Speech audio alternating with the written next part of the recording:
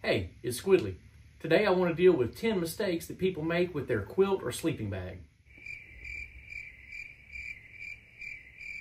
The first mistake is choosing the wrong temperature rating. Now, this is a mistake that I have made before and I've dealt with on this channel. It's choosing a temperature rating when the manufacturer gives maybe several different ratings. Uh, and, and the thing that I've dealt with on this channel is the difference between a comfort rating and a survival rating. They are completely different things. In the case of my sleeping bags that I have from Hyke and Byke, the difference is that of about 15 degrees, where the survival rating means you'll live, but you won't be comfortable. You're going to be cold. And the comfort rating, which is not only will you survive, but you will be comfortable during that time. Another element to figure into this is how you sleep. Are you a warm sleeper or are you a cold sleeper? And knowing that is going to help you determine which temperature rating you're going to need. The second mistake is ignoring size and fit. And basically what I'm talking about here is how does the bag or the quilt fit for your body shape?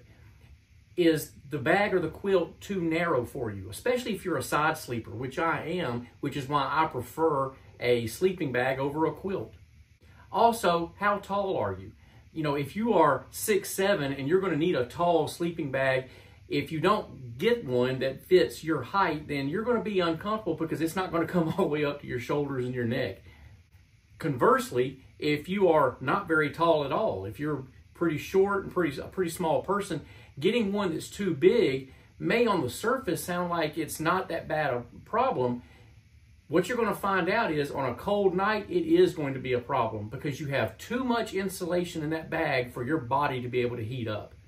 That bag does not generate its own heat. It's depending on your body heat to fill up that space with warmth and then it will insulate that warmth and keep it in.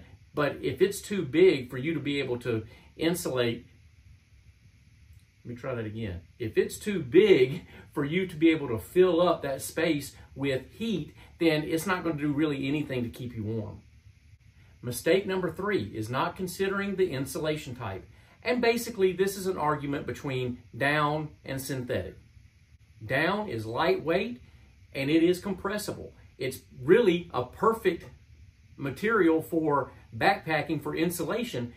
The problem is, once it gets wet, it is useless. It doesn't do anything at all to insulate and keep you warm. Synthetic is heavier and it's more bulky, but if it gets wet, it continues to insulate. Number four is sort of an extension to number three, but it's not considering weight and packability. How much space do you have in your pack for your sleeping bag or your quilt?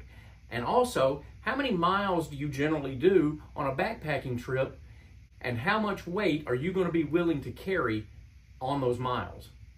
Number five is neglecting care and maintenance. And what this really comes down to is cleaning and storing. Because cleaning and storing properly is going to help reduce odors and prevent the degradation of your insulation, which will also prevent your insulation eventually becoming poor quality. And just an example of that is keeping your bag or your quilt when it's in storage, keeping it not compressed. Number six is pairing your quilt or your bag with a sleeping pad of a similar temperature rating. Basically, it doesn't matter what the temperature rating of your sleeping bag or your quilt is. If you're sleeping directly on the ground, the ground is going to suck all of the heat right out of your body and out of that sleeping bag or quilt. Number seven is not testing beforehand. Try your sleeping bag or your quilt at home, out in the backyard, on the deck, wherever, to gauge how well it's going to perform once you get out in the woods. And if it's not performing well, you can't just go inside and say, okay, let's try a different bag or quilt. Number eight is not matching your bag or your quilt to your planned activities. Are you going to be car camping? Canoe camping, backpacking, or are you going to be sleeping on the ground or in a hammock? All of these are considerations for choosing the correct sleeping bag or quilt so that you're not, one, taking too much or taking too little. Number nine is ignoring features. Draft collars, hoods, and zippers can add a lot of comfort to your sleeping bag, but each thing that you add on adds additional weight. How much of this stuff do you actually need or want? And if it's something that you don't want or need, then continue shopping until you find a brand that offers what you're looking for. Number 10, and I save this one for last because it's one that might get me in trouble, and it is assuming that all bags or quilts are equal.